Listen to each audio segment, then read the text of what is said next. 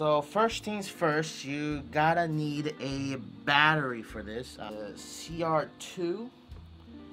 Uh, you need this uh, particular stuff because uh, without the battery, it would not work. So this is the Pentax MZ50.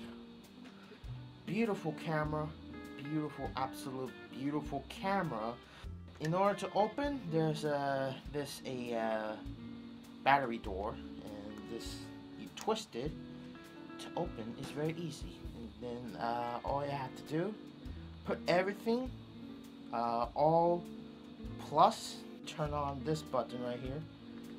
Turn it on, and it actually works.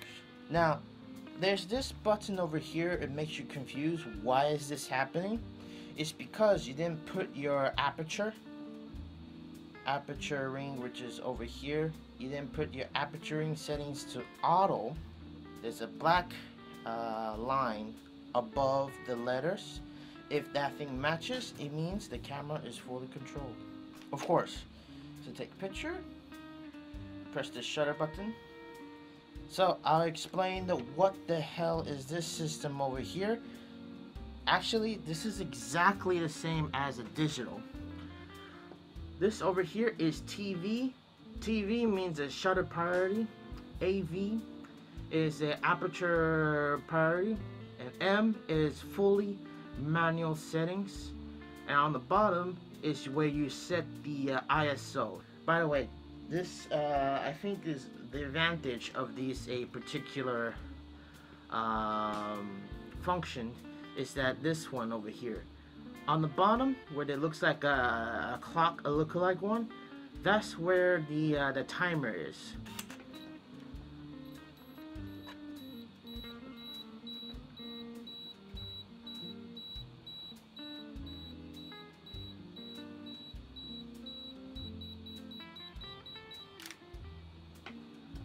and that's how you take pictures I guess and also there is a um, a single shooting which is a, uh, it just sounds like this. So that's a single shooting. And there's a continuous shooting, which just sounds like this. So it has all the settings over here at the side right over here. So it's very easy. It's good to know. And this is a, uh, what, you, what is this called? A PICT, which means camera will do everything for you. So it's kind of like this. So there's a running, there's a flowers, a landscape, and the portrait. Uh, they're all over here, which means the camera will do everything for you as long as you put your settings of like like this. Put your settings of what to select. If you have no idea how to use this camera, just use this green square smiley face. Put the settings on the pick T, I guess, pick a T maybe. Also, when you load the film, make sure don't forget your uh, ISO settings, which is right here. Don't forget that, the ISO settings. This button on the back, there's a black button on the back that says AV slash some sort of weird stuff. And what this is, uh, those weird looking uh, plus and minus, that is your exposure. Show you, I guess, probably it's a lot better if you show this one. So this is the manual settings. So if you can see the number, that's the shutter. And if you press the black button on the back over here, that adjusts the aperture. Uh, very similar towards the um, AV mode. Now AV mode, that's the aperture priority one, where you press it. And if you press the black uh, button, that's the exposure. See at the edge over here, that's where the exposure is. Oh yeah, I forgot to tell you, there's a side over here, that's where your um, autofocus, manual focus system. By the way, next to the switch of the AF, MF uh, settings, there's a uh, film opening switch, so that's where you put your film in it.